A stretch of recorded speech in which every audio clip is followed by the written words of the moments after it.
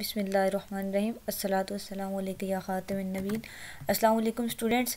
We have to discuss ways of organize text linear cyclic process and causes effects ये हमने process जो हमने ways of organize way of organize करने का एक जो अपना कंपोजिशन है, उसको प्रोसेस पीछे हमने पढ़े थे, उसका ये वाला जो प्रोसेस है वो हम इस लेक्चर में डिस्कस करेंगे कि आप ये डिस्कस करेंगे how to write up a time based chronological sequence and a linear process chronological sequence को लिखना, जो कि आगे भी हमने बहुत बार सीखा है प्रैक्टिस भी किया है, वो भी हम दोबारा इसमें सीखेंगे। लीनियर प्रोसेस को a process that consists of a series of stages and which has a beginning and and ये लीनियर प्रोसेस की डेफिनेशन है कि ऐसा प्रोसेस होता है जिसकी सीरीज़ ऑफ़ होती हैं।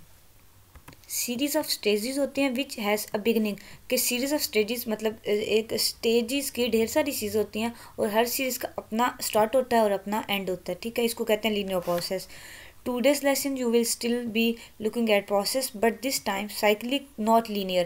इस लेसन में भी हम प्रोसेस देखेंगे, लेकिन पीछे हमने जो साइक्लिक प्रोसेस देखेंगे लीनियर प्रोसेस नहीं देखेंगे। पीछे हमने साइक्लिक प्रोसेस पढ़ा एक बार, लेकिन अभी तो दोबारा से पढ़ेंगे। A natural process is more likely to be cyclic than linear वो कहते जो कुदरती प्रोसेस होता है, वो ज़्यादा साइक्लिक होता है लीनियर से ज़्यादा।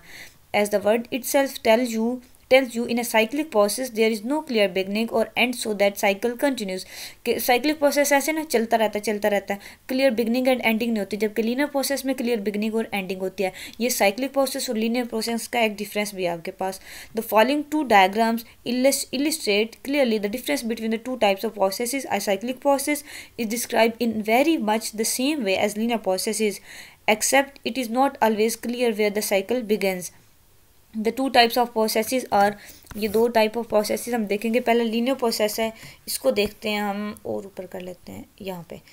हम्म, देखें। इनपुट हमने डाला फिर A B C D series चल रही है ना हमारी और फिर आउटपुट आ गया। ये लीनियर प्रोसेस हमारा सीधा चल रहा है। ये इसकी एक कह लें आप बिगनिंग है और ये इसका एंड हो गया। साइक्लिक्स प्रोसेस देखें, एक स्टेप दूसरा स्टेप तीसरा स्टेप ऐसे नीचे स्टेप ऐसे। मतलब ये चलते रहेंगे, ऐसे कंटिन्यू साइकिल होता रहेगा। बिगनिंग एंड प्रॉपर नहीं इसका होता। वैसे होता तो डेफिनेटली है, तभी शुरू और ख़त्म होता है ना, लेकिन प्रॉपर नहीं होता, जैसे लीनियर का होता है। ठीक है, ये डायग्राम से इलिस्ट्रेट किया है उन्होंने। तो प्रैक्टिस वन हम देख लेते हैं। The following flow diagram illustrate the carbon cycle इधर होगा, नीचे कार्बन साइकिल बना हुआ। बायोलॉजी अगर आपने पढ़ी है तो आपने पढ़ा होगा कार्बन साइकिल बड़ा फ़ेमस साइकिल है बायोलॉजी में। The diagram shows how carbon is found in the atmosphere, in animals, plants and in the soil. In the soil. के डायग्राम से हमें पता चलता है कि कार्बन कैसे पाई जाती है माहौल में एनिमल्स में प्लांट्स में और मिट्टी में below the flow diagram is a list of sentences describe the stages in the cycle नीचे हमारे पास डिस्क्रिप्शन भी है, होगी साइकिल की the sentences are not is in an acceptable sequence sentences जो हैं वो एक्सेप्टेबल सीक्वेंस में नहीं है मतलब जैसे साइकिल एक्सेप्ट करते हैं ना लोग, या जैसे साइकिल एक्सप्लेन करता है, वैसे सेंटेंस एक्सप्लेन नहीं कर सकते. Use the flow diagram as a guide match the sentences with stages in the flow diagram to produce a text is acceptable sequence वो कह रहा है, एक डायग्राम को यूज़ करना या फ्लो चार्ट को यूज़ करना, उससे गाइड करना और फिर सेंटेंसेस में लिखा ये एक एक्सेप्टेबल सीक्वेंस है। देख लेते हैं यहाँ पे साइकिल तो नहीं दिया हुआ, लेकिन ये आई थिंक देखते हैं। Sometimes when plants and animals die and decay कभी कभी जब क्या होता है प्लांट्स और एनिमल मर जाते हैं, यानी कि ख़त्म हो जाते हैं, और डिके का मतलब होता है वो उनकी डिकम्पोजिशन हो जाती है। Bacteria upon the decayed body and liberate carbon dioxide as one of the product क्या कहते हैं बैक्टीरिया जो डेड बॉडी है प्लांट की एनिमल की, उसको डीके करता है, यानी कि उसको डिकम्पोज करता है एंड लिबरेट कार्बन उसको डिकम्पोज करता रहता है, उसमें प्लांट में एनिमल की जो डेड बॉडी में कार्बन होते हैं, वो लिबरेट हो जाती है हवा में, यानी कि वो कार्बन आज़ाद हो जाती है और वो हवा में मिल जाती है। Similarly plants respire at night and give out carbon dioxide to the atmosphere ऐसे क्या होता है? वो प्लांट्स जो, वो रात को रिस्पायर करते हैं, यानी कि जो रात को उनकी रिस्पायरेशन प्रोसेस होता है तो फिर भी कार्बन डाइऑक्साइड एटमोसफियर में मिल जाती है। But this never happens because when plants take in carbon dioxide during the day time लेकिन डे टाइम ऐसा नहीं होता क्योंकि डे टाइम जो प्लांट्स हैं कार्बन डाइऑक्साइड लेते हैं animal give out carbon dioxide as a result of respiration और जो एनिमल्स हैं डे टाइम वो कार्बन डाइऑक्साइड रिलीज़ करते हैं, जबकि प्लांट्स रात को करते हैं। अच्छा वैसे ये बायोलॉजी से रिलेटेड टॉपिक आपसे रिलेटेड तो नहीं है, लेकिन इसको मैं पढ़ इसलिए रही हूँ कि ये बीच में दिया। अगर आपने बायोलॉजी पढ़ी है तो आपको सारी बातें समझ आ रही होंगी, और अगर आपका सब्जेक्ट नहीं रहा तो फिर ज़ाहिर आपके ऊपर से गुजरेगा। लेकिन मैं कह रही थी, यहाँ फ्लो चार्ट मिल जाता ना, उससे हम अच्छे से समझ लेते, लेकिन वो नहीं आई यहाँ। ये सिर्फ़ डिस्क्रिप्शन है लिखी हुई है। वेल इसी को हम पढ़ते हैं। मैं आपको फिर समझाने की कोशिश करती हूँ। नेक्स्ट देखें।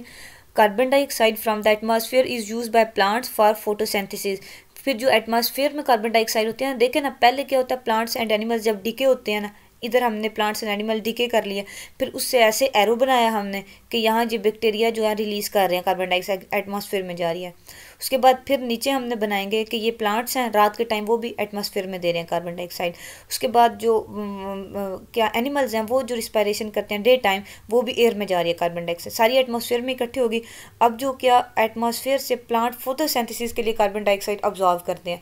मतलब साइकिल चाह कभी जा रही है एटमॉस्फेयर में, कभी एटमॉस्फेयर से आ रही है, वो साइकिल चलता रहता है कंटिन्यू है मतलब समझ रहे हैं ना बात? Okay sometimes coal wood and oil are burnt and this produce carbon dioxide gas which go, goes into the atmosphere again यही बात कि कभी कभी कोयला या लकड़ी या ऑयल इनको जब जलाया जाता है तो इनसे भी कार्बन डाइऑक्साइड प्रोड्यूस होती है। अगेन वो एटमॉस्फेयर में मिल जाती है। मतलब अब फिर एटमॉस्फेयर में चली गई, फिर रिस्पायरेशन जो कोई प्रोसेस करना होगा, फिर आ जाएगी उसमें ऑर्गेनिज्म में जो उसको ऑब्जॉर्व कर रहा है या ले रहा है। मतलब ये ऐसे चलता रहता है साइकिल कभी जाती है एटमॉस्फेयर में, कभी एटमॉस्फेयर से वापस आती है। मीन्स आपको पर्पज़ है साइकिल समझाना। This is known as the carbon cycle in nature इसको नेचर में क्या कहते हैं? कुदरती तौर पर कार्बन साइकिल कहते हैं। So in this way carbon dioxide is return to the atmosphere इस तरीके से एटमोसफेयर में रिटर्न वापस हो जाती है। ऊपर जो हमने तरीके पढ़े हैं, उनमें से भी कुछ में रिटर्न होती है और कुछ में से वहाँ से टेक आउट होती है। Carbon dioxide is usually found in the atmosphere while the compound such as carbohydrates, carb carbonates and bicarbonates are found in animals in plants and in the soil. वो कह रहे हैं कि कार्बन डाइऑक्साइड ज़्यादातर atmosphere में पाई जाती है और कम कंपाउंड्स जो हैं, ये कार्बोनेट्स का बाइकार्बोनेट्स ये सारे एनिमल्स में प्लांट्स और सॉइल में पाए जाते हैं। Therefore there is always a continuous cycle in which carbon is being removed and replaced in some way और अदर अदर ये हमारे काम की बात है कि एंस होता ही है कि कंटिन्यू साइकिल होता है कि कार्बन एटमॉस्फेयर में जा रही है या एटमॉस्फेयर से रिमूव हो रही है रिप्लेस हो रही है। मतलब ये कार्बन का साइकिल चलता रहता है। If plants keep on removing carbon dioxide from the atmosphere, then very soon the atmosphere may be without any carbon dioxide. कि अगर ये साइकिल अगर ना ना हो साइकिल की आप इंपॉर्टेंस समझें तो क्या हो कार्बन डाइऑक्साइड जो प्लांट्स हैं, वो एटमॉस्फेयर से लेते रहें, और क्या हो कि एटमॉस्फेयर की कार्बन डाइऑक्साइड ख़त्म हो जाए, और फिर सारा साइकिल ख़राब हो जाए। मतलब डेफिनेटली सारे लिविंग ऑर्गेनिज्म जो है, वो फिर सफ़र करेंगे। एक्सेप्टेबल ऑर्डर वुड बी ये जो पहले ये एट नंबर वाला सेंटेंस ये वाला कि carbon dioxide usually found in the atmosphere हाँ अब एक्चुअली ना ये जो है, इन विदाउट ऑर्डर दिए में हमने इसको ऑर्डर में अरेंज करना है। ऑर्डर में अरेंज तो हम कर लेंगे, लेकिन साइकिल जो बनाना है ना, वो इधर डायग्राम नहीं है, वो नहीं आप समझ पाएँगे। लेकिन होप्स आपको समझ आ गई होगी ना कि ऐसे जो साइक्लिक प्रोसेस चलता है ना जैसे एरोज लगा के या फ्लो चार्ट की शक्ल में डायग्राम की शक्ल में बनाते हैं इसको मोस्टली आप वैसे करते हैं। अच्छा वो कह रहा है कि पहला जो ये वाला सेंटेंस है कि कार्बन डाइऑक्साइड एटमॉस्फेयर में पाई जाती है और ये सारी बाकी चीज़ बाकी जो चीज़ें हैं उनमें कंपाउंड्स कार्बोनेट्स और बाइकार्बोनेट्स एनिमल प्लांट्स और सोयल में पाए जाते हैं ठीक है? उसके बाद वो कह रहा है कि ये सिक्स वाला आएगा ये जो है आ, नहीं ये फोर वाला सॉरी कि carbon dioxide from the atmosphere is use by कि क्या कहते हैं, ये बात होगी, क्या एटमोसफियर में पाई जाती है और ये सारा कुछ उनमें पाया जाता है। फिर क्या होती है, पहले, सबसे पहले एटमोसफियर से प्लांट्स लेते हैं फोटोसिंथेसिस के लिए कार्बन डाइऑक्साइड ठीक है? सबसे पहले हमारे साइकिल में निकल रही है एटमोसफियर से कार्बन डाइऑक्साइड आप इसको फ्लो डायग्राम की शक्ल में बना के ना एरो लगा के निकाल लें उसे एटमोसफियर से, ठीक है? उसके बाद क्या हो रही है ये टेंथ वाला कि प्लांट्स अगर उसको निकालते रहेंगे तो वो जल्दी ख़त्म हो जाएगी। इसलिए इसका हल जो है वो ये है कि ऐसा होता नहीं है क्योंकि कार्बन डाइऑक्साइड जो है डे टाइम में वो निकालते हैं और सॉरी डे टाइम में वो प्लांट्स करते हैं रिस्पायरेशन एनिमल्स रिस्पायरेशन करते हैं। और क्या होता है? प्लांट्स तो लेते हैं ना कार्बन डाइऑक्साइड फोटोसिंथेसिस के लिए एटमॉस्फेयर से। और एनिमल जब रिस्पायरेशन करते हैं, वो एटमॉस्फेयर को दे देते हैं कार्बन डाइऑक्साइड मतलब पहले आ रही है एटमॉस्फेयर से, फिर उसमें जा रही है। उसका बैलेंस उसका जो साइकिल है, वो बराबर रहता है मेनटेन रहता है, ठीक है? उसके बाद क्या होता है? फिर ये होता है कि प्लांट्स रिस्पायर एट नाइट और रात को जो प्लांट्स हैं, वो रिस्पायरेशन करते हैं। दिन को जब वो लेते हैं एटमॉस्फेयर से कार्बन डाइऑक्साइड रात को वो वापस कर देते हैं एटमॉस्फेयर में। अगेन वही साइक्लिक प्रोसेस साइकिल बराबर हो गया ना? फिर वही बात। और फ़र्स्ट पे फिर आगे ये सेंटेंस आता है कि बाज़ात ऐसे होता है कि ये वो डीके कर देते हैं एनिमल या प्लांट्स बॉडी तो बैक्टीरिया क्या होता है उसको डिकम्पोजिशन करते हैं और फिर एटमॉस्फेयर में कार्बन डाइऑक्साइड चली जाती है, ठीक है? उसके बाद आता है ये वाला सेवन वाला, कि in the way carbon dioxide return to the atmosphere ठीक है? वो तो हमने बता दिया ऑलरेडी कि प्लांट्स अगर फोटोसिंथेसिस के लिए लेते हैं तो रिस्पायरेशन जब एनिमल करते हैं, तब भी एटमॉस्फेयर में जाती है कार्बन डाइऑक्साइड और जब प्लांट्स रिस्पायर करते हैं एट नाइट तब भी एटमॉस्फेयर में जाती है। जब कोई एनिमल जब प्लांट डीके होता है, तब भी एटमॉस्फेयर में जाती है। सारे तरीके जो है उसको रिटर्न करने के एटमॉस्फेयर को कार्बन डाइऑक्साइड ठीक हो गया। उसके बाद फिफ्थ पे आ जाएँगे कि समटाइम्स ये होता है कि ये जब चीज़ें बर्न करती हैं, फिर भी कार्बन डाइऑक्साइड एटमॉस्फेयर में जाती है दोबारा से। और देन ये नाइन्थ वाला कि क्या होता है एदे फॉर ये होता है कि कंटिन्यू साइकिल जो हमारा वो चलता रहता है कभी रिमूव हो रही है कभी रिप्लेस हो रही है एटमॉस्फेयर में कार्बन डाइऑक्साइड और फिर लास्ट पे ये बात है आ, ये वाली in the way carbon dioxide return to the atmosphere sorry four six वाली बात ये this is known the carbon cycle in nature ये लास्ट में आएगा कि इसको कार्बन साइकिल इन नेचर में नेचर में कहते हैं। ओ, कोशिश तो की आपको समझाने की, उम्मीद है, समझ आ गई होगी, लेकिन इस तरह थोड़ा मुश्किल अगर यहाँ फ्लो डायग्राम होती ना तो ज़्यादा अच्छे आप क्लियर कर लेते। अगर आपके पास बायोलॉजी की बुक पढ़ी है, आपने पहले बायोलॉजी पढ़ी है तो आप उसमें से देखें, आपको कार्बन साइकिल मिल जाएगा, फिर आपको ज़्यादा अच्छे से समझ आएगी साइकिल की। Well the life cycle of the malaria parasite अब मलेरिया पैरासाइट का हम पढ़ेंगे, सारा का सारा बायोलॉजी के टॉपिक्स दिए हुए हैं।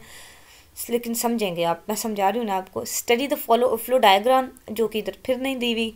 एंड द टेक्स्ट टेक्स्ट हम देखेंगे। Some of the sentences would be would not be there that is they are irrelevant which ones are they तो वो कह रहे हैं कुछ सेंटेंसेस uh, जो हैं इधर इनरेलीवेंट दिएँगे वो यहाँ नहीं होने चाहिए थे। वो अब कौन से हैं? वो हमें रिकोगनाइज करना है और हम the life cycle of the malaria parasite इसका लाइफ साइकिल पढ़ेंगे। Malaria is cause by tiny one called animal parasites malaria जो एक डिज़ीज़ है, वो किससे होता है? छोटा सा एक एनिमल है पैरासाइट्स उससे होता है। Called plasmodia that are injected into the blood of man by the female anopheles mosquito female anopheles mosquito ये एक मच्छर का नाम है। मॉस्कीटो का वो जो प्लाज्मोडिया आपके ब्लड में इंजेक्ट कर देती है तो उससे आपको मलेरिया हो जाता है। Some disease are transmitted by tiny water animals कुछ जो बीमारियाँ वो छोटे छोटे पानी के जो एनिमल्स होते हैं, जानवर, उनके ज़रिए ट्रांसमिट होती हैं। अब ये मलेरिया की बात हो रही है ना यहाँ तो ये वाटर एनिमल्स की बात यहाँ डेफिनेटली रेलिवेंट है। हम तो मलेरिया की बात कर रहे हैं, वो हमने हो गया क्लियर कि फीमेल जो मॉस्किटो है एनोफिलस वो जब इंजेक्ट करती है हमारी बॉडी में ब्लड तो हमें मलेरिया होता है। टेनी एनिमल है ना पैरासाइट लेकिन वाटर टाइनी एनिमल ये इरेलीवेंट यहाँ बात है। खैर, अगली देखते हैं the anopheles mosquito sucks blood from a person with malaria को तो फिर वो क्या करते हैं ये जो मॉस्कीटो है, फिर ये उसके, जो मलेरिया वाला बंदा होता है, उसकी बॉडी से सक करती है ब्लड यानी कि चूसती है. Once in the stomach of the mosquito these parasites go some develop and and अब in the mosquito salivary gland क्या होता है कि जो मॉस्किटो होता है, मच्छर उसके स्टमिक में, उसके मैदे में पैरासाइट चले जाते हैं. जब वो ब्लड सक करती है ना तो पैरासाइट्स जो है ना मलेरिया के, वो उसके मैदे में चले जाते हैं और फिर क्या होता है? उधर उनकी डेवलपमेंट होती है और मॉस्कीटो का स्लाइवरी ग्रैंड जो है वो डेवलप होता है उसके एंड पे। House flies transmit micro microbes on their feed तो हाउस फ्लाइज जो घर की मक्खियाँ होती हैं, पता है उनके पाँवों पे छोटे छोटे ज़रात होते हैं। वो माइक्रोब्स जो है वो एक जगह से दूसरी जगह ट्रांसमिट करते हैं, ये भी डाइजीज़ की वजह बनती है। If the mosquito no bites a healthy person अगर मॉस्कीटो ने हेल्दी पर्सन को बाइट किया है, अभी हाउस फ्लाई की जो बात है ना, ये भी यहाँ इरेलीवेंट है। मतलब हमें तो मलेरिया पैरासाइट का लाइफ साइकिल पढ़ना है ना। तो ये वाटर टाइनी की भी यहाँ बात इरेलीवेंट हो गई है, ये हाउस फ्लाई की भी बात इरेलीवेंट है, ये ना यहाँ नहीं आनी चाहिए थे। अगली बात देखते हैं if this mosquito now bites a healthy person कौन सा मॉस्किटो बला? ये जिसने ब्लड सक किया है मलेरिया के पर्सन से, अगर उसने ब्लड सक किया ना तो उसके जो स्टमिक है, उसमें ये ग्लैंड्स डिवेलप हो गया है। तो अगर वो किसी हेल्दी पर्सन को बाइट करती है, यानी कि उसको काटता है वो mosquito it introduce some parasite together with the saliva into the blood of the person तो क्या करेगा वो अपने स्लाइवा के साथ डेफिनेटली उसका स्लाइवा कहते हैं थूक को जो वो। तो जब उसको वो बाइट करेगा मॉस्किटो तो वो अपने उसके, अपने स्लाइवा के साथ उसके ब्लड में कुछ जो है पैरासाइट्स वो इंजेक्ट कर देगा। The malaria parasite then enter the person liver फिर क्या होगा वो मलेरिया पैरासाइट जो इंसान है, उसके लीवर में दाखिल हो जाएँगे in which they change and multiple तो वो उनमें मलेरिया पैरासाइट जो उनकी ये खूबी होती है कि जब वो लीवर में चले जाते हैं, वहाँ उनकी डेवलपमेंट होती है ग्रोथ होती है, फिर वो मल्टीपल हो जाते हैं, ढेर सारे हो जाते हैं मल्टीप्लाई हो जाते हैं। From there they passes into the blood cells तो लीवर से फिर वो पैरासाइट जो हम ब्लड सेल में चले जाते हैं, ये बात अब रेलिवेंट है हमारे, ये भी रेलिवेंट है, जो हम समझ आ रही है आपको। Where they cause the malaria attack तो ब्लड सेल में जाके फिर मलेरिया अटैक होता है आपको और फिर आप एंड पे क्या होता है? मलेरिया बुखार हो जाता है. The spread of insect borne disease can be control अब वो कह रहा है कि इंसेक्ट बोर्न डिज़ीज़ जो कीड़े के होती है ना, पैदा होने से डिज़ीज़ जो है, वो उसको कंट्रोल किया जा सकता है. अगेन यही रेलिवेंट बात है. यहाँ से क्या कह रहा है? Sentence number two sentence number five are the are not the part of life cycle of the malaria parasite therefore do not part of the text वही बात जो मैंने आपको साथ साथ बता दिया कि ये दो सेंटेंसेज इरेलीवेंट है। उसने ये नीचे लिखा हुआ है कि ये सेंटेंसेज इरेलीवेंट है। मुझे तो नाइन्थ वाला जो लास्ट सेंटेंस है वो भी इरेलीवेंट लग रहा है, क्योंकि इंसेक्ट बोर्न की तो हमने बात यहाँ पढ़ी नहीं है ना। हमें तो मलेरिया पैरासाइट्स का जो लाइफ साइकिल है वो हमने डिस्कस करना था तो वो हमने कर लिया कि पहले प्लाज्मोडियम जो होता है वो उसके जो पर्सन के मैन के ब्लड में इंजेक्ट करती है फीमेल मॉस्किटो उसके बाद जब वो उसके, जो अगर वो मलेरिया से डाइजीज पर्सन है, उसका जब ब्लड सक करती है तो उसके अपने लिवर में, उसके अपने जो स्टमक है, उसमें, उसके स्लीवरी ग्रैंड में स्लाइवा में डिवेलपमेंट होती है और फिर जब वो हेल्दी पर्सन को बाइट करती है तो उसमें इंट्रोड्यूस हो जाता है पैरासाइट फिर उसके लीवर में चला जाता है, वहाँ मल्टीप्लाई होता है और देन क्या होता है, उसको मलेरिया हो जाता है। बात ख़त्म, यहाँ तक उसका लाइफ साइकिल ख़त्म हो गया। ये लास्ट वाला मेरे ख्याल से तो इरेलीवेंट है। तो लेकिन यहाँ मैंशन नहीं है वेल छोड़ें इसको। The above diagram shows that what how diagram जहाँ है ही नहीं है यहाँ। Water is treated and made clean for us. Write description of the cycle while writing. Keep the following points in mind. देख लेते हैं डायग्राम है या नहीं और कौन से पॉइंट्स हैं। वो कोई डायग्राम मुझे लगता है आपके नोट्स में यहाँ अवेलेबल नहीं हो सकती। हो सकता है जो आपके लेक्चर्स होते हैं ना, उनमें ये डायग्राम्स वगैरह आपको प्रोवाइड की गई हों। लेकिन यहाँ तो ऐसे टेक्स्ट या तो मैं आपको इससे समझा सकती हूँ। खैर to explain the cycle consider the best point to enter it अच्छा ये आप वैसे जनरल समझ लें कि आपने कोई भी साइकिल एक्सप्लेन करना हो तो आपने क्या करना है? बेस्ट पॉइंट लेने हैं। क्योंकि इतनी बड़ी डिटेल जो है, अगर पूरा पैराग्राफ साइकिल में लिखने बैठे तो पॉसिबल नहीं है। क्योंकि साइकिल, साइक्लिक फॉर्म होता है ना, उसमें छोटे छोटे पॉइंट्स आपने लिखने होते हैं। पूरी डिटेल तो उसमें आ भी नहीं सकती। फिर वो साइकिल बना, साइकिल तो ना ना बना, फिर वो तो डिटेल ज़्यादा हो जाएगी ना। आपने बेस्ट पॉइंट जो है, वो कंसिडर करने हैं कि साइकिल में अपने एंटर करें। Break down the cycle into stages उसको स्टेजेस में ब्रेक डाउन करें डेफिनेटली पहली स्टेज क्या, दूसरी क्या, फिर तीसरी, फिर ऐसे ऐसे साइकिल की स्टेजेस चलती रहेंगी। Consider the basis on which the stages might be defined आपको वो बेसिस यानी कि वो बुनियादें वो लें जिन पे स्टेज डिफाइन होगी। मतलब उसका हिंट लिखें ना, वो बुनियाद लिखें, जो एक दो लफ्ज़ों का हिंट हो तो उस उस वो बात याद आते ही तो पूरी स्टेज डिफाइन हो जाए। ऐसे आप उसको बेसिस को कंसिडर करें। Use a thesis statement in the introductory paragraph introductory paragraph की थीसिस स्टेटमेंट जो है वो अपने साइकिल बनाते हुए यूज़ करें। आपको अच्छे से पता है इंट्रोडक्टिव पैराग्राफ क्या होता है और थीसिस स्टेटमेंट क्या होती है। Use topic sentence for each paragraph within the text और आप साइक्लिक का, अगर साइक्लिक फॉर्म में ज़्यादा टेक्स्ट लिख रहे हैं ना तो आप टॉपिक सेंटेंस हर पैराग्राफ के यूज़ करेंगे, ठीक है? वही जो आपकी राइटिंग का स्टाइल है, आपने पीछे पढ़ा, आपने हमेशा उसको कुछ भी लिख रहे हैं, उसको मद्देनज़र रखना है। आप साइक्लिक फॉर्म में लिख रहे हो या किसी और सब्जेक्ट का राइट कर रहे हो, कुछ भी, आपने उसको जो स्टाइल है, अपना पैराग्राफ का टेक्स्ट का कंपोजिशन का ऐसे का, वो आपने ज़रूर मद्देनज़र रखना है। Give a litter to your writing अब क्या है, आपको थोड़ा सा राइटिंग को लिटर इसको देख लेते हैं। In the northern areas of Pakistan the once magnificent forest are slowly being destroyed by the effects of air pollution के पाकिस्तान के शुमाली इलाकाजात में एक जो सबसे मैग्निफिशेंट शानदार जो फॉरेस्ट कहते हैं, जंगल है, जंगलात, शानदार जंगलात, वो डिस्ट्रॉय हो रहे हैं, यानी कि तबाह हो रहे हैं। किस वजह से? एयर पोल्यूशन की वजह से। Pine trees dying from pollution lose their needles allowing sunlight to reach the forest floor pine trees ये एक बड़ा मशहूर ट्री है नॉर्दर्न एरियाज़ में, अगर आप गए हो तो आपने देखा होगा, बिल्कुल सीधे सीधे पहाड़ों के ऊपर बड़े बड़े दरख्त खड़े होते हैं। तो वो क्या है, वो डाइंग डाइंग यानी कि मर रहे हैं, किस वजह से? पोल्यूशन की वजह से। नीडलेस अलोइंग सनलाइट और पोल्यूशन जब ज़्यादा हो रही है तो ज़्यादा सनलाइट उन पर पड़ती है। नीडलेस मतलब जो रेस उनको नहीं रिक्वायर होती सनलाइट की, वो उन पर पड़ती है, उनके फॉरेस्ट पे, उनके फ्लोर पे फॉरेस्ट के तो डेफिनेटली ये उनको डिस्ट्रॉय करने का ज़रिया बनती हैं। During this process, grass uh, thrives in, in the increased sunlight and drives out the plant, plants native to the soil, such as moss, which helps to hold rainwater.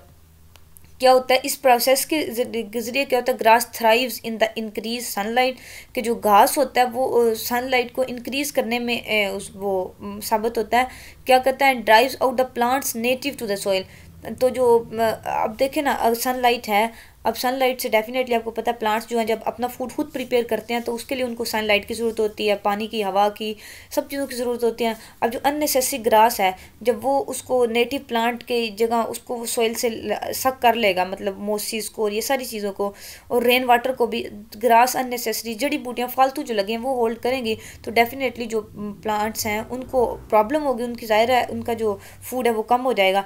The soil thus loses its natural power to absorb water क्या होता है, जो grass है unnecessary grass जो है, वो thrive कर लेती है सोयल को और रेन वाटर को भी होल्ड करती है तो क्या होता है, फिर सोल में, यानी कि मिट्टी में कमी हो जाती है, किस चीज़ की? Natural power to absorb water उसकी जो कुदरती पार है मिट्टी की पार वाटर अब्जॉर्ब करने की, उसमें कमी हो जाती है and in term becomes hard which causes rain and snow to slide over the ground instant of being slowly absorb in it तो क्या होता है, ये सारी जो सबब हैं, फिर ये बारिशों का सबब बनती हैं और स्नो फॉलिंग का सबब बनती हैं और स्लाइडिंग का और ये वगैरह वगैरह ज़मीन पे, ठीक है? Instead of being slowly absorb into it बजाय इसके कि वो बारिश और स्नो फॉलिंग या कुछ भी है, वो ऑब्जॉर्व हो जाए क्योंकि उसकी जो सोल है, मिट्टी है, उसकी नेचुरल पावर ऑफ़ ऑब्जॉर्प्शन जो वो काफ़ी कम हो जाती है, इसलिए ये सारा कुछ मसाइल बनते हैं कि हैवी रेंज होती हैं और स्नो फॉलिंग और ये सब कुछ। This result in in erosion of the soil ज़मीन की जो इरोजन है इसका ये सबब बनते हैं इरोजन मीन्स कहते हैं ज़मीन के कटाव को तो सोयल इरोजन का जो मिट्टी का मतलब इरोजन उसमें हो जाती है किस्म की ना इसको आप ऐसे कह लें कि इरोजन का सबब बनते हैं यानी कि उसमें वो प्रॉब्लम्स आ जाती हैं कटाव एक कह लेना आप इसको तो उसका ये सबब बनते हैं after a heavy downpour जो बहुत ज़्यादा जब बारिशें होती हैं, the eroded land finally falls तो ऑलरेडी जो लैंड जो होती है, इरोयन होती है उसमें तो क्या होती है falls away in huge landslide तो वो क्या, अब देखें ना, इरोयन, अब क्या नहीं, ज़मीन का कटाव मतलब वो उसमें नहीं पड़ जाती, दरार जिसको कहते हैं, वो पड़ जाती हैं ढेर सारी दरारें पड़ जाती हैं तो क्या होता है, वो ऑलरेडी इरोयन लैंड होती है तो फिर वो लैंड स्लाइडिंग की ह्यूज लैंड स्लाइडिंग की शक्ल में गिरती है लैंड्स जब वो स्लाइड लैंड स्लाइडिंग होती है तो पता है, एक ह्यूज डिस्ट्रक्शन होती है इसमें destroying villages and whatever is that comes into its way जो भी उसके दस्ते में आता है, गाँव या कुछ भी आए, वो उसको तबाह कर देती है। And later causing floods in the plains तो प्लेन्स और फिर बाद में क्या होती है? फिर सैलाबा, सैलाबों की भी ये वजह बनती है। वेल ये हो गया। और देख लेते हैं, हमें इसमें करना क्या the following table give some guideline on the language available for writer to state then degree of certainty degree of certainty का ये मतलब होता है कि जिस चीज़ से आप सर्टन है, जिस चीज़ पे आपको शो आप श्योर है, जिस कितने, जहाँ तक श्योर है, उतना वो आप इसको मेंशन करेंगे। अगर कम्प्लीटली श्योर हैं तो complete strong partial less strong impersonal तो आप इसमें वर्ब्स और एडवर्ब्स कौन सा यूज़ करेंगे? जितना आप श्योर हैं, जितने डिग्री ऑफ़ सर्टेनिटी है आपको, जितना यकीन है अपनी बात पे, उस तरह के आप वर्ब्स और एडवर्ब्स यूज़ करेंगे, ठीक है? अगर कंप्लीट मुकम्मल श्योर है आप अपनी बात पे, कि ये बात बिल्कुल ठीक है, ये उसके हवाले से हम ऐसे के हवाले से कर रहे हैं तो लेकिन ये जो ऊपर हमने लैंड स्लाइडिंग वाली सारी बात करी give a little to your writing ये आपकी राइटिंग में इजाफा करने के लिए शायद कुछ इसलिए आपको प्रोवाइड किया गया था पहले आपने समझ लिया इसको। इसमें कोई ऐसी, ऐसा बात नहीं है। साइकिलिक प्रोसेस भी एक है। लैंड स्लाइडिंग का कि वो कैसे बनते हैं, एक साइकिल ही बताया गया है किस्म का इसमें भी। वही समझने वाला था। अच्छा खैर, अब डिग्री ऑफ़ सर्टेनिटी देखते हैं। जब आप कंप्लीट श्योर हैं किसी चीज़ के बारे में तो आप लिखेंगे इज़ नॉट सर्टेनली डेफिनेटली तो इज़ नहीं यूज़ करेंगे। आप ये वाले वर्ड यूज़ करेंगे। सर्टेनली मतलब यकीनन डेफिनेटली का मतलब होता है बिल्कुल वाज तौर पर यकीनन। Is will must clearly undoubtedly clearly भी आप यूज़ कर सकते हैं कि वाज तौर पे अनडाउटली का मतलब बग़ैर किसी शक शुबा शुबे के। मस्ट uh, और अगर वर्ज uh, ये एडवर्ब्स हो गए जब आप कंप्लीट श्योर हो अपनी बात पे तो ये वाले एडवर्ब्स यूज़ करेंगे अगर आपने यूज़ करने हो तो। और अगर आप कम uh, और अगर वर्ब्स यूज़ करने हो तो फिर इज़ और ये मस्ट मस्ट का भी मतलब होता है ज़रूरी चाहिए। विल इज़ वर्ब तो वेल टेंस के हिसाब से भी यूज़ होता है लेकिन एक डिग्री ऑफ़ सर्टेनिटी के हिसाब से भी ये वर्ब्स यूज़ होंगे वहाँ। जब आपको स्ट्रॉन्ग यकीन है अपनी बात पे कि ये स्ट्रॉन्गली ट्रू है, फिर एक्चुअली ये वाला एडवर्ब यूज़ कर लें पार्शियल अगर आप पार्श पार्शियल का मतलब होता है लेस स्ट्रॉन्ग पूरा यकीन नहीं है. कंप्लीट स्ट्रॉन्ग आई थिंक एक ही है, ये इसमें गैप हुआ हुआ है. तो पार्शियल लेस स्ट्रॉन्ग ये इन दोनों बातों का एक ही मतलब पार्शियल का मतलब होता है कच्चा पक्का मतलब आपको पक्का पक्का यकीन नहीं है लेस स्ट्रॉन्ग भी यही होगा। फिर आप कैन कैन नॉट कुड कैसा हो सकता है मतलब कैन इस तो है ना ऐसा है मस्त का भी मतलब है ज़रूर ऐसा है। तो कैन का मतलब है हो सकता है कैन नॉट का मतलब है नहीं हो सकता कुड का मतलब है हुआ होगा। मतलब वही आपको यकीन नहीं है ना मतलब एक डाउट की कंडीशन है आपकी तो फिर आप ये वाले वर्ब्स यूज़ करेंगे। Should may might may might भी डाउट की कंडीशन में यूज़ होते हैं। मे का मतलब है मे भी मतलब हो सकता है ऐसा हो। और एडवर्ब भी ये यूज़ होते हैं। प्रोबली गालबन प्रिज्यूमेबली का मतलब भी है, तकरीबन तकरीबन पॉसिबली मतलब मुमकिन हद तक पर शायद, देन डाउट वाले हैं सारे एडवर्ब्स भी और वर्ब्स भी। जब आपको पार्शियल स्ट्रॉन्ग पार्शियल आपको पार्शियल सर्टेनिटी हो या फिर लेस स्ट्रॉन्ग हो आप अपने एविडेंस में, अपनी बात में तो आप ये वाले वर्ब्स और ये वाले एडवर्ब्स यूज़ करेंगे। अच्छा लास्ट पे आ गया impersonal not commitment of self कि आपको यकीन ही नहीं है कि आप जो कह रहे हैं। आपको आप कमिटमेंट ही नहीं है आपके अपने सेल्फ के साथ। तो पहली बात तो ये आप ऐसी स्टेटमेंट यूज़ ही ना करें। ये बहुत अच्छा तरीका है आपकी। मतलब आपको नहीं ना क्लियर होता कि वर्ब एडवर्ब कौन सा यूज़ करना है। ऐसी स्टेटमेंट जिससे आप कमिटेड नहीं है, जो इम पर्सनल है, पहली बात तो आप पूरी तरह बचें कि अपने ऐसे में कंपोजिशन में या कहीं भी ऐसे स्टेटमेंट तो आप यूज़ ही ना करें। लेकिन अगर करनी पड़ जाए तो आप क्या वर्ब यूज़ करें? इट इज़ सेट दैट कि ये कहा जाता है। अब आप कोई बात गलत भी हो तो आप कहेंगे कहा जाता है सुनी है बात। तो वो उस पर डेफिनेटली सर्टेनिटी का वो लेवल नहीं रहता। और ये दूसरी बात भी कि एक्स रिपोर्ट्स दैट कि इट रिपोर्ट्स दैट ये इस चीज़ की रिपोर्ट है कि ये मतलब ये ये बात मिलती है, कहा जाता है, सुनी सुनाई है। There is evidence to suggest that के शवाहिद मिलते हैं इस चीज़ के, कि इसको सजेस्ट किया जाए। मतलब वो अगेन आप सजेशन दे रहे हैं, आप कह रहे हैं कि it is said it is reported कहा जाता है, ये सुना है, वही आप नॉट कमिटेड है ना, इसलिए आप ऐसे यूज़ कर रहे हैं। Okay how to write cause and effect अब काज एंड इफ़ेक्ट कैसे लिखने हैं? Cause and effect are closely related आप ऐसे में लिख रहे हैं, जब आप ऐसे की बॉडी कर रहे हैं फॉलो तो आप काज एंड इफ़ेक्ट पे जब पहुँचे हैं तो काज एंड इफ़ेक्ट क्या है? क्लोजली रिलेटेड होते हैं, एक दूसरे से। पहली बात तो ये होगी जो यानी कि इनका आपस में चोली दामन का एक किस्म का कहने साथ होता है। There are several ways of the expressing cause effect cause और इफ़ेक्ट को, यानी कि इसबाब और इनके जो नतीजे हैं, उनको एक्सप्रेस करने का, उनको एक्सप्लेन करने के ढेर सारे तरीके हैं। इंग्लिश ग्रामर में उनके रिलेशनशिप को एक्सप्लेन करने के इंग्लिश में ढेर सारे तरीके हैं you may either place the cause और the effect first in the sentence हो सकता है आप काज को पहले लिखें या इफ़ेक्ट को पहले लिखें एक सेंटेंस में, मगर अगर यानी कि एक सेंटेंस में आप काज एंड इफ़ेक्ट का ज़िक्र कर रहे हैं ना तो आप कभी काज भी पहले से लिख सकते हैं और इफ़ेक्ट भी लिख सकते हैं। पहले ये दोनों तरीके आप यूज़ कर सकते हैं। The following sentence contain the same expression yet one focuses on cause while the other focuses on effect देख लेते हैं हम एक्सप्रेशन कौन से वो कह रहा है कि पहले देखें बिकॉज़ ऑफ़ हिज डिप्रेशन अब इसके डिप्रेशन की वजह से, पहले उसने बता दिया ना इफ़ेक्ट बता दिया ही रिमेंड क्वाइट वो चुप रहता है। सॉरी, ये इफ़ेक्ट हो गया, ये हो गया इसका काज कि अपने डिप्रेशन की वजह से। काज का मतलब होता है ना वजह और इफ़ेक्ट होता है नतीजा उसका। जिस वजह से हुआ वो काज है। अपने डिप्रेशन की वजह से वो चुप रहता है। अपनी परेशानी, अपनी टेंशन की वजह से ये काज हो गया एंड इट इज़ इफ़ेक्ट वो चुप रहता है, ठीक है? He remained quiet because of his depression इसमें भी वो देखें। अब रिमेड क्वाइट पहले आ गया मीन्स इफ़ेक्ट पहले आ गया बिकॉज़ ऑफ़ डिप्रेशन तो ये काज हमारा बाद में आ गया। अब वो कह रहे काज पहले आ सकता है इफ़ेक्ट पहले, और यहाँ काज बाद में पहले आ गया और इफ़ेक्ट बाद में आ गया। सॉरी इफ़ेक्ट पहले आ गया और काज बाद में आ गया, और यहाँ वाइस वर्सा यूज़ हुआ है। तो दोनों तरीके से आप इसको कह सकते हैं, ये ठीक है।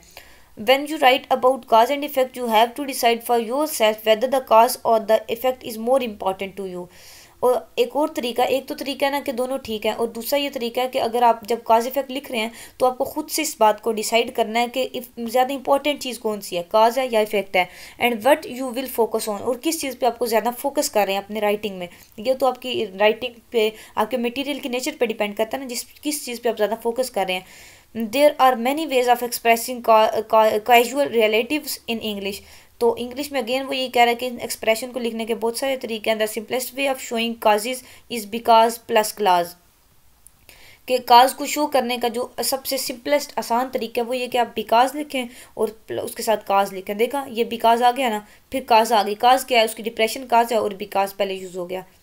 अच्छा the war started because the extremist had the upper hand in the government जंग शुरू हुई क्योंकि, अब क्योंकि ये काजा गया the extremist had the upper hand जो एक्सट्रीमिस्ट थे, जो वार करवाने वाले शिद्दत पसंद थे, उनका जो गवर्नमेंट पे अपर हैंड था, यानी कि वो उसके गवर्नमेंट पे गालिब थे। अब काज ये है कि extremist has the upper hand और इफ़ेक्ट ये है कि वार स्टार्ट हुई। अब इफ़ेक्ट उसने पहले लिखा, लिख दिया और बिकास डाल के तो बकास बाद में आ गया पूरा क्लास काज का। Uh, the following uh, text and note three expression used by the writer to show casualty use C for class and E for the effect अब अपने हमने काज और इफ़ेक्ट को इसमें नीचे वाले जो एक्सप्रेशन है इसमें रिकोगनाइज करना है। जो काज है उसके साथ सी लिखेंगे इफ़ेक्ट के साथ ई लिखेंगे। देखें tuberculosis of the lungs ये सारे डिज़ीज़ की बातें आई जा रही हैं। ये बायोलॉजी से सारा लेक्चर आपका लिया गया है। खैर, मैं समझाती हूँ, कोशिश करूँगी कि आपको समझ आ जाए। पल्मोनरी ट्यूबरकलोसिस ये ना बीमारी है ट्यूबरकलोसिस एक पल्मोनरी ट्यूबरकलोसिस होता है वेनरी ट्यूबरकलोसिस होता है मतलब इसकी टाइप्स होती हैं। तो वो कह रहा है, जो पल्मोनरी ट्यूबरक्लोसिस है is caused by infection of the lungs with the tuber with the tuber with the tubercle bacillus ये बेसिलस ना लंग्स के ट्यूबर सेल होते हैं, यानी कि आप कह लें, अब ट्यूबर सेल की भी आपको अगर बायोलॉजी आपने नहीं पढ़ी तो समझ तो नहीं आएगी। अब इस तरह कह लें कि लंग्स में कुछ वेन्स होती हैं, उनको, उसका नाम है बेसिलस मतलब कोई पार्ट्स होते हैं लंग के। तो उसमें क्या होता है इन्फ्लेक्शन जब हो जाती है ना लंग्स में तो ट्यूबरक्लोसिस आ जाता है आपको। ट्यूबरक्लोसिस जो डायसीज आपको ये हो जाती है। pulmonary damage uh, uh, damage is due almostly entirely to the human from of the tuber uh, tuber cell bacillus. वो कहता है पल्मोनरी डैमेज जो है इसका इंटायरली टू द ह्यूमन सारे के सारे इंसान को इसका होता है ट्यूबर बेसिलिस का as distinct from the type found in cattle which is mainly responsible for glandular sorry glandular glandular and bovine tuberculosis वो कह रहा है, जो ट्यूबर बेसिलस है जिसकी वजह से ट्यूबरक्लोसिस होता है, ये एनिमल्स में कैटल्स में ये पाया जाता है और कैटल का जो ग्लैंडूर ग्लैंड है एक वो इसके लिए रिस्पॉन्सिबल है, इस बैक्टीरिया के लिए। बैक्टीरिया ही होगा ये, बेसिलस बैक्टीरिया कोई कहते हैं। बैक्टीरिया का नाम है ट्यूबर सेल बेसिलस ये एक बैक्टीरिया होता है जिससे ट्यूबरक्लोसिस होता है। तो वो कह रहा है उसका ज़्यादातर जो पाया जाता है ना उसके लिए रिस्पॉन्सिबल कौन है? जो कैटल का ब्लैडर है glandular and bovine tuberculosis cattle का जो है कैटल्स का एनिमल्स का वो इसके लिए रिस्पॉन्सिबल है। The bacteria lodge is the is in the lungs is set up a chronic information of a specific time क्या कहते हैं? बैक्टीरिया जो है खुद को लंग्स में मतलब लो, लोज का ये मतलब कि पुट कर लेते हैं, खुद को रखते हैं वो मतलब खुद को एक किस्म का उसमें कैद कर लेते हैं लंग्स में, खुद को उसमें लंग्स में रखते हैं और फिर क्या कहते हैं set up chronic inflammation of a specific type एक ख़ास किस्म का क्रोनिक इन्फ्लेमेशन यानी कि उसमें वो क्रॉनिक एक डिज़ीज़ है, उसको फिर वो सेटअप करते हैं, उसको डिवेलप करते हैं। They produce areas of infi infiltration which have a characteristic tuber tubercle formation has the name of the organism फिर वो क्या करते हैं, एक स्पेसिफिक करेक्टरिस्टिक डिवेलप करते हैं ट्यूबर फॉर्मेशन की। तो इसलिए इसका जो नेम है ऑर्गेनिज्म का, वो ट्यूबर क्लोसिस है। अच्छा ये स्टडी राइटिंग लाइकोन एंड हेसली पी इसमें से ये पैराग्राफ लिया गया है। तो हमने इस पैराग्राफ का क्या करना था? काज एंड इफ़ेक्ट की बात करनी थी हाँ। अच्छा तो अब काज ये ना is caused by infection of the lungs अब ये वो पहले उसने बताया था कि ट्यूबरक्लोसिस इस वजह से होता है। ये ज़ाहिर हमारा काज है, इसके हम सी लिख देंगे। अच्छा अब वो कहता है is due almost entirely to the him अब ड्यू का भी ये मतलब है is due to due to का भी ये मतलब होता है, इस वजह से होती है। ये भी अगेन हमारा काज में चला गया। सेकेंड जो सेंटेंस है, ये भी। और थर्ड वन है the bacteria in the lungs is set up chronic of a specific type तो ये फिर जो जो बैक्टीरिया लंग्स में लॉन्च हुए होते हैं, वो एक स्पेसिफिक टाइप की इन्फ्लेमेशन क्रोनिक बना देते हैं। अब ये इफ़ेक्ट हो गया। ये दो काजेज हो गए। ये इफ़ेक्ट हो गया हमारे सेंटेंस और लास्ट वाला क्या? एरियाज़ ऑफ़ इन्फ्लेशन विच ये भी अगेन हमारा इफ़ेक्ट हो गया। इसको भी हम ई e से मैंशन कर देंगे। फिफ्थ देखें which words in the following text show cause and effect relationship again हमने वही ढूंढना है काज एंड इफेक्ट्स का रिलेशनशिप वन डेल फॉन्स ऑन द माउंटेन्स जब पहाड़ों पर बारिश होती है it collects in dispersion in the rocks क्या होता है वो डिप्रेशन इन द रॉक के जो चटाने उनमें डिप्रेशन यानी कि होल्स बन जाते हैं. The extreme cold causes the ice of to freeze and glaciers to form अब ये जो बारिश होना ये काज हो गया. और एक्सट्रीम कोल्ड बहुत ज़्यादा सर्दी जो होती है, उससे क्या होता है बर्फ़ जम जाती है और ग्लेशियर्स बन जाते हैं। ये उसका इफ़ेक्ट हो गया। रेनफॉल जो माउंटेन्स में होती है और रॉक्स में डिप्रेशन हो जाते हैं, ये रेनफॉल का जो इफ़ेक्ट है, वो क्या आता है कि रॉक्स में डिप्रेशन हो जाते हैं। ये इसका इफ़ेक्ट है और ये काज है। अब एक्सट्रीम कोल्ड जो है, वो क्या काज करता है? इसका ये एक्सट्रीम कोल्ड काज हो गया और इसका इफ़ेक्ट क्या कि आइस फ्रीज हो जाती है और ग्लेशियर्स जो हैं, वो बन जाते हैं। The ice melt and freeze again due to which changes in temperature. अब जो टेम्परेचर चेंज काज हो गया, इसका इफ़ेक्ट क्या कि आइस मेल्ट होती है और फ्रीज अगेन फ्रीज हो जाती है। मतलब टेम्परेचर चेंजेस जो है ना, ये काजेज हैं इसकी, ज़्यादा होता है, टेम्परेचर कम होता है और इफ़ेक्ट क्या होता है, आइस मेल्ट होती है या फ्रीज हो जाती है अगेन, ठीक है? erosion of the rocks of the mountain depression occurs as a result of the continual melting and free, refreezing and is worst by made by, made worse by increase by the action of wind moving the water क्या कहता है कि rocks में जो halogen होती है mountain depression अकर किस वजह से वो होते हैं ये पहले उसने हमें इफ़ेक्ट बता दिया रिज़ल्ट किस चीज़ का होता है? कॉन्टीन्यूल मेल्टिंग एंड रीफ्रीजिंग जो मुसलसल मेल्ट और रीफ्रीज होती रहती है ना रेन सॉरी आइस या वाटर वट तो उसका ये काज हो गया और इफ़ेक्ट उसका किया हो गया कि रॉक्स जो माउंटेन उनकी होती हैं रॉक्स उसमें डिप्रेशन हॉलोज वगैरह होल्स वगैरह बन जाते हैं। अच्छा ये is worse made by worse increase by the action of the wind of moving the water तो जो पानी मूव करता होता है, उसकी जो एक्शन ऑफ़ विंड है, हवा की वजह से जो पानी मूव करता है, ये उससे ज़्यादा बुरा है। Increase by the action of wind moving the water हो गई ये line sorry eventually the water wears away the rock to form a small stream तो क्या होता है, पानी वो जो रॉक्स जिसमें उसने डिप्रेशन किया होता है, उसमें वो एक स्मॉल स्टीम छोटी सी नदी बन जाती है which carries deposit of soil जिसमें जो मिट्टी के डिपॉजिट यानी कि ज़रात होते हैं एंड रॉक और चिटानों के विच काजिज फर्दर इरोजन जिससे और ज़्यादा इरोजन होती है चिटानों में। अब ये बन गई ना वाटर स्मॉल स्ट्रीम जो बन गई, ये स्मॉल स्ट्रीम का बनना किस वजह से है? पीछे जो हमने पढ़ा वो काज था और इफ़ेक्ट हुआ स्मॉल स्ट्रीम और अगर हम स्मॉल सिटी के बनने को काज लें तो इसका इफ़ेक्ट क्या होगा कि जो डिपॉजिट्स हैं और फर्दर जो इरोजन है, वो इसका इफ़ेक्ट है। काज क्या है कि स्मॉल स्ट्रीम जब बनती है रॉक्स में से और पानी चलता है, डिपॉजिट ऑफ़ सॉइल के साथ तो फर्दर इरोजन इसका इफ़ेक्ट हो गया। Gradually enlarging the stream तो एंड वाला सारे पैराग्राफ का भी इफ़ेक्ट है और इस लाइन का भी फर्दर इरोजन अगर काज लें तो इसका इफ़ेक्ट क्या होता है कि स्ट्रीम जो है वो बड़ी होती रहती है। पानी की जो पहले स्मॉल स्ट्रीम बनती है, फिर फर्दर इरोजन जब होती है, ये काज हो गया। तो इसका इफ़ेक्ट हो क्या हो गया कि जो स्ट्रीम पानी की नदी बनती है, वो लार्ज बड़ी हो जाती है। होप सो मैं काज और इफ़ेक्ट का डिफरेंस आपको रिलेशनशिप क्लियर करने में सक्सेसफुल हुई होंगी। सिक्स हमने प्रैक्टिस अपने देख लेते हैं। Read the following text and see if you spot cause and effect words again हमने काज एंड इफेक्ट्स के वर्ड को स्पॉट करना है। Watching violence on T V is beneficial and helps decrease violent behaviour because viewers get rid of some of their own aggressive वो कहते हैं T V पे violence behaviour यानी कि शिद्दत टी वी पे देखना बेनिफिशियल फ़ायदा है एंड इट हेल्प्स और ये मदद करता है डिक्रीज वायलेंट बिहेवियर हमारा जो अपना गुस्से वाला या शिद्दत वाला बिहेवियर है रवैया उसको कम करने की मदद करता है। ये वैसे बात गलत है। Because viewers get rid of some of their own aggressive impulses through viewing क्योंकि व्यूवर्स जो देखने वाले होते हैं, अपनी जो उनकी ओन एग्रेसिव इम्पल्सिस यानी कि अपने जो गुस्से वाली इम्पल्सिस उनमें आ रही होती हैं वेव्स गुस्से वाली, शिद्दत वाली वो आ रही होती हैं, वो कम हो जाती हैं through viewing and in this way reduce the chance they that they will perform aggressive acts वो टीवी पे वायलेंस देख के उनकी अपनी जो एग्रेसिव इम्पल्सिस हैं, वो डिक्रीज़ हो रही होती हैं। और इस तरह उन्हें एक चांस मिलता है कि वो रिड्यूस कर सके अपना जो एग्रेसिव एक्ट्स है, अपने गुस्से वाले काम है उसको कम कर सकें, ठीक है? अब ये कह रहा है कि काज एंड इफ़ेक्ट यहाँ सपोर्ट हो रहे हैं एक दूसरे को सपोर्ट करें या नहीं।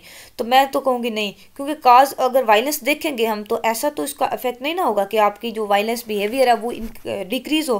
बल्कि वायलेंस देखेंगे टीवी पे तो इफ़ेक्ट उसका ये होगा, आपका अगर बिहेवियर पोलाइट है तो तब भी उसमें वायलेंस आ जाएगा, क्योंकि ये एक साइकोलॉजिकल इफ़ेक्ट है कि आप जो कुछ देखते हैं व्यू करते हैं तो इससे हमने ऊपर भी पढ़ा ना कि जो बच्चों का काफ़ी आई थिंक पिछले, उससे भी पिछले लेक्चर में कि एक पैराग्राफ हमने पढ़ा था ना, उसमें ये कहा था कि डॉक्टर्स कहते हैं, बच्चे जो टीवी पे वायलेंस देखते हैं, इसलिए उनकी जो नेचर अपनी भी वो वायलेंट हो जाती है, शिद्दत आ जाती है उनके नेचर में, अगर तशद टीवी पे देखेंगे।